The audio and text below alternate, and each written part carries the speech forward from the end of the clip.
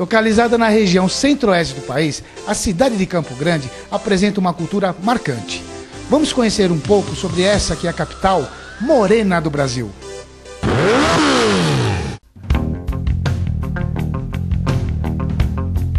Com uma população média de 800 mil habitantes, a cidade de Campo Grande, capital do Mato Grosso do Sul, é caracterizada por uma formação cultural diversificada, herança deixada pelos índios e imigrantes vindos de diferentes partes do mundo.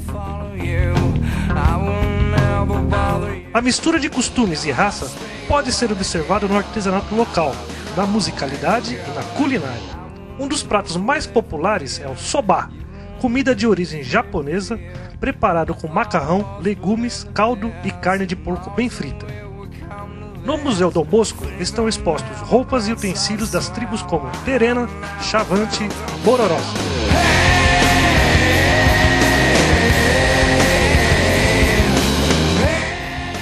No Memorial Indígena são realizadas apresentações de danças e comercialização de artefatos produzidos pelos próprios índios.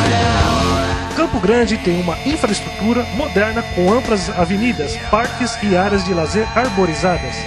É considerada a cidade mais importante da região do antigo estado do Mato Grosso, desmembrada em 1977. E se você quer saber mais detalhes sobre a capital morena do Brasil, acesse o site www.citybrasil.com.br.